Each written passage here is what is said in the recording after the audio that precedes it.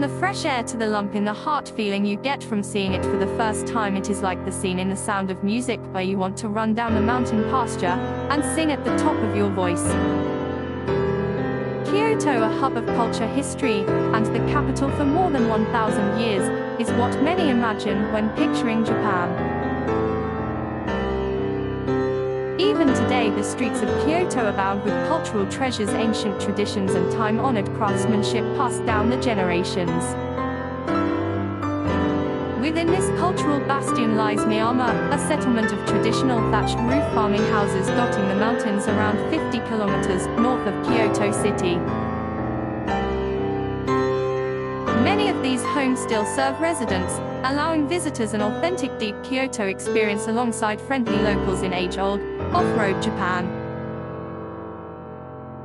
Miyama is recognized by the UNWTO United Nations World Tourism Organization as a best tourism village for its preservation of historic buildings, quasi National Park and tourism projects aligned with sustainable development goals.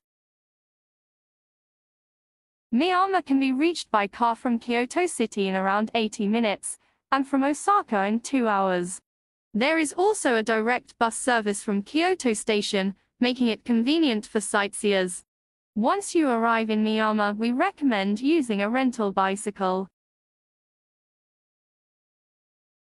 The Miyama Thatched Village is a collection of 39 Japanese kayabuki, thatched roof folk homes designated as a preservation district for groups of traditional buildings. Today around 100 residents live in the village, practicing an ancient way of life.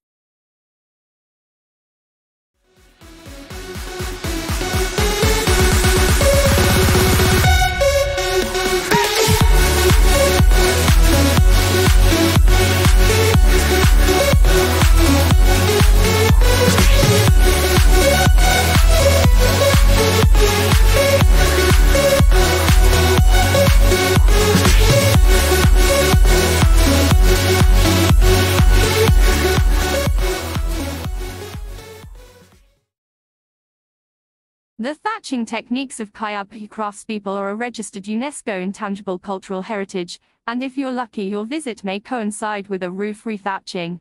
Within the Miyama thatched village are two traditional accommodation facilities, allowing guests to enjoy a blissful night in one of these cozy homesteads. Miyama is a village hidden behind the mountains, far from the modernity of Kyoto Station. While it is easily accessible from Kamiko or Kyoto, it is also a place that many travelers or locals for that matter, have not stepped foot in. Its literal meaning is beautiful mountain in Japanese so let me count, the joys of be surrounded by the happiness of being here.